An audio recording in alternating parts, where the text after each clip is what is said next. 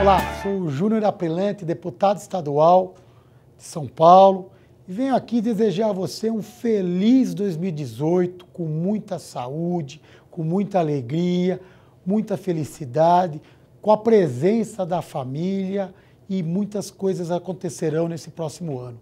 Feliz ano novo a todos vocês.